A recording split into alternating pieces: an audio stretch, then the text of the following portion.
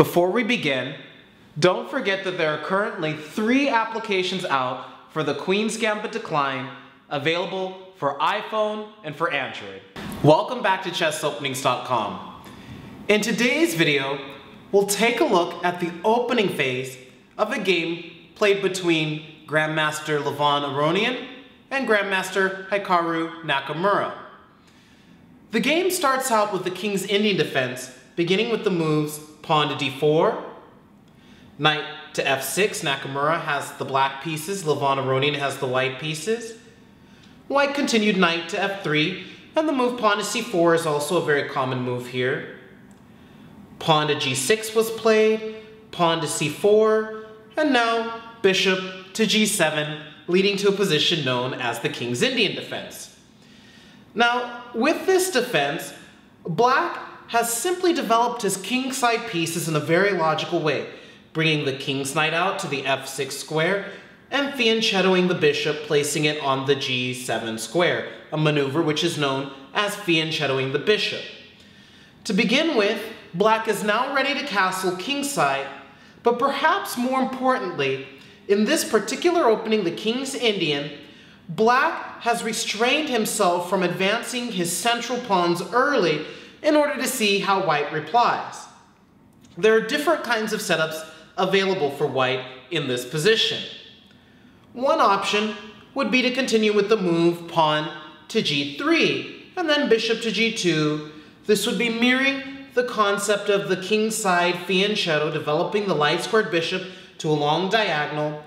And then white can, over time, make use of the extra space provided by his advanced pawns on d4 and c4 and use these to develop his pieces further and eventually aim to achieve the move pawn to e4. However, in this game, Levon Aronian plays a setup known as the classical variation.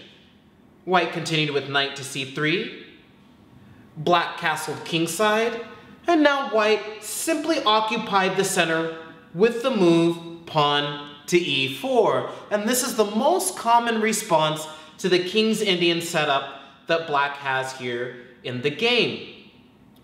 Now, the whole effort of this video will be to look at how white is able to translate this spatial advantage in the center. White has three pawns situated in the center. How does white translate that into a game-winning advantage? So let's take a look. Black continued with the move pawn to d6, and this is useful for a few reasons. One idea might be that black is restraining the move pawn to e5, but in fact, white doesn't want to play the move pawn to e5 so quickly, since after knight to e8, and now moves like pawn to d6 or pawn to c5, black will have opportunities to undermine the center, and white will find himself behind in development. Instead, the more common reason behind the move pawn to d6 is actually to support black in staking a claim in the center with either the move pawn to e5, which is most common, or pawn to c5. So pawn to d6 was played, bishop to e2 was played, and now black continued with the most common move here, pawn to e5. Now, this move always looks a little paradoxical in this position since black is cementing the pawn on a square which is directly in front of the g7 bishop. However, the idea behind this move is to take into consideration what's going to happen next when black eventually brings his knight out to the c6 square. If black plays the move pawn to c5 and white castles kingside, black does not yet have the opportunity to develop his queen's knight as adequately as he'd like, since after the move knight to c6, white is now able to play the move d4 to d5 when the knight on c6 actually has a lack of good squares to develop to. In most games which reach this position, black actually placed the knight on the a5 square, but from here, there are a variety of different plans available to white, especially on the king side, which tend to make use of the fact that this knight is completely off sides in this position. By contrast, when black plays the move pawn to e5, as he did here in the game, and then white castles kingside, now after the most common move, knight to c6, pawn to d5, all of this was played in the game, now black has access to the square e7 for the knight. And this is a totally different situation from having to place the knight offsides on the a5 square. From e7, the knight now prepares the move f7 to f5, and of course the knight is better situated for the rest of the struggle. Now, there are a number of different ways that white can continue in this position in order to make use of his space advantage in the center. Presently, the big difference between the two positions is that white's pawn on d5 is much further advanced than the pawn on d6, and the white pawn on c4 is also more advanced than the pawn on c7. White can make use of these factors by first of all making better use of the squares behind the pawns in order to maneuver his pieces, and secondly, by a well-timed advance of the c pawn, white can begin to create weaknesses in the opponent's position. Some of the most common moves here include pawn to b4, setting up an eventual pawn to c5 here, knight to e1 with the idea of repositioning the knight to d3, and then again looking for this move pawn to c5. Or another option is knight to d2, whereupon white is most often reserving the knight on the d2 square so that after c4 to c5 and a capture takes place on d6, the knight will be able to come to c4 as a way of increasing the attack on the d6 point. So this is another method of repositioning the knight. Now, in fact, in this game, Levon Aronian played the move knight to e1, preparing to redeploy this knight to the d3 square. Now, black's plan in this position is relatively straightforward. Black's aim is to achieve the move f7 to f5 as quickly as he possibly can, as this is the most logical pawn break that he has access to in this position.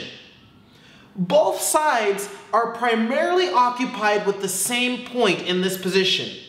They've both completed a certain level of development of their pieces and managed to castle on the king side. Now from here, the question is how to increase the scope of the pieces and begin to create weaknesses in the opponent's camp. By continuing with the move knight to d7, which is the move that Nakamura played in this game, Black is beginning to slowly but surely unfold some chances of his own by liberating the pawn on f7 and preparing to bring it up to the f5 square. Ideally, this pawn could make it all the way out to the f4 square, and then, as black begins to reposition his pawns and pieces on the king side, black can begin to move the pawns and pieces up the board close to the king and create some kingside attacking chances. In this sense, I often call the King's Indian a very philosophical opening because black has managed to avoid occupying the center in the way that he traditionally does in most openings. He's simply given white the opportunity to bring his d-pawn and c-pawn clear up the board, but his argument is that because his attack f7 to f5 to f4 is primarily directed against the king in the long term, Black is arguing that since the king will come under attack, his attack has additional merit, whereas even though White's attack is more supported by the position at this time, White's attack does not have the same stakes as the king. So traditionally we see that White very often succeeds with his queenside attack, but he still has a major headache in that Black's attack is directed against the king, and if Black's attack succeeds, even at the expense of remarkable material loss on the queen side, black will still have won the game since the game ends with checkmate.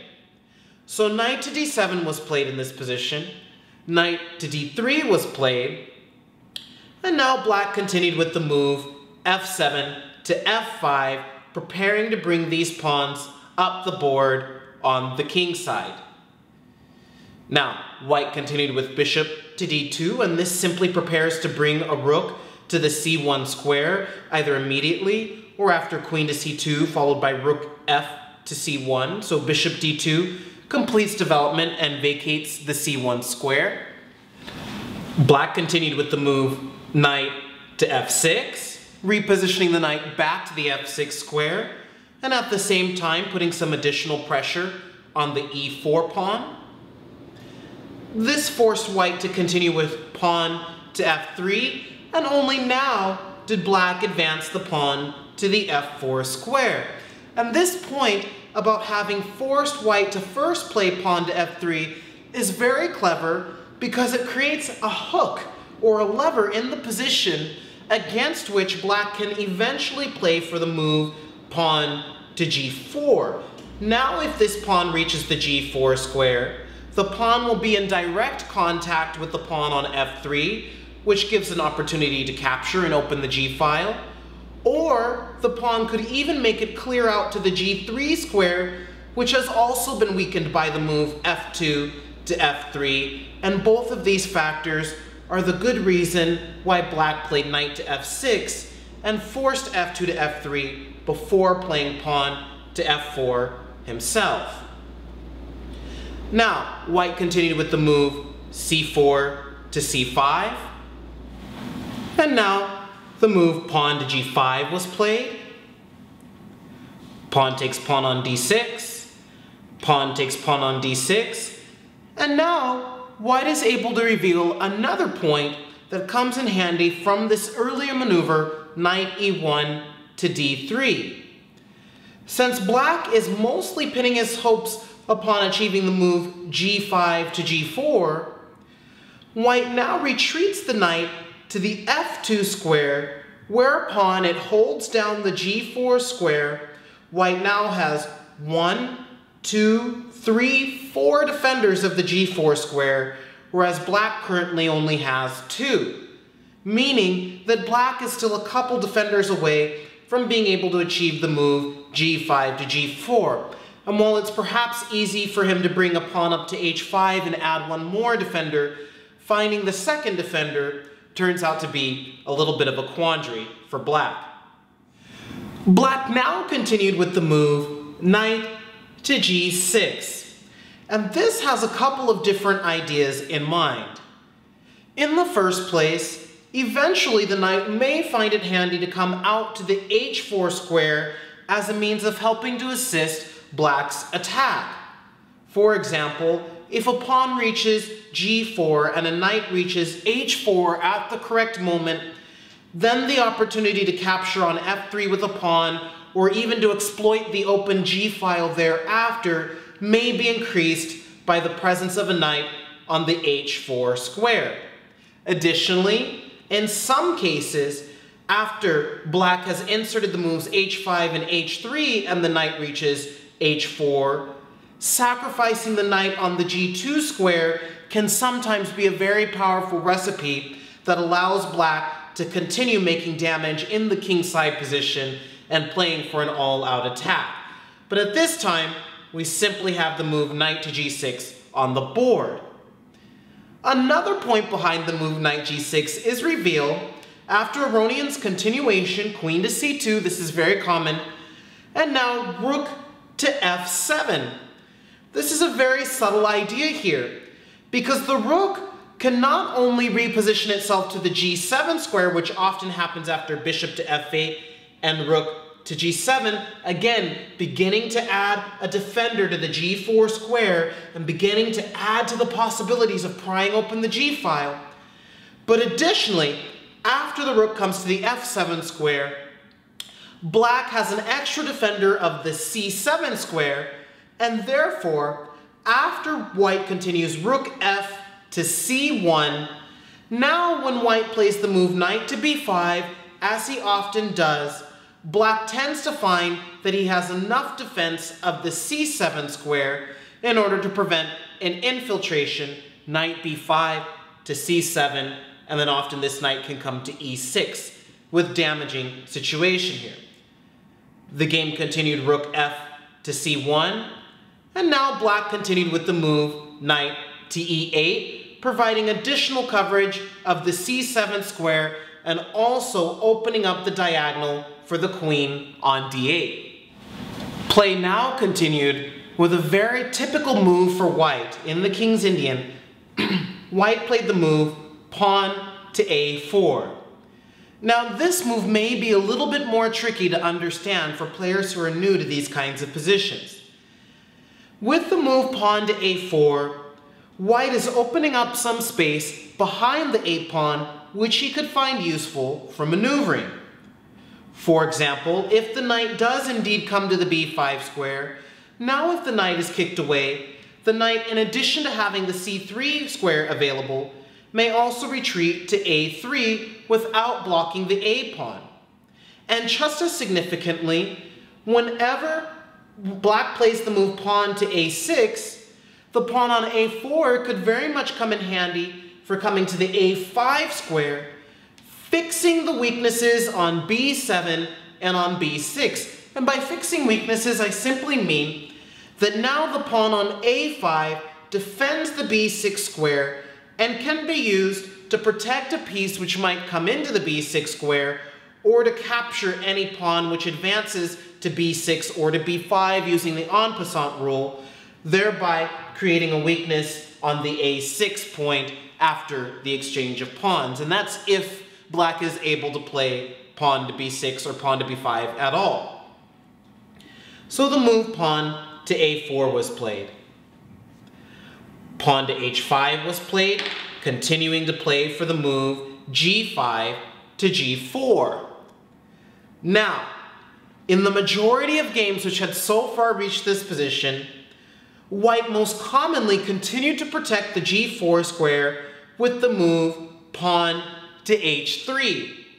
And then many of these games continued, let's say knight to h4 and knight to b5, and white continued to wriggle for some kind of attack on the queen side. And these positions had turned out to be roughly okay for both sides, with white perhaps having a very slight initiative in these positions. However, in this game, Aronian uncorked a completely different move here that so far had not been played in this position. White played the move knight c to d1.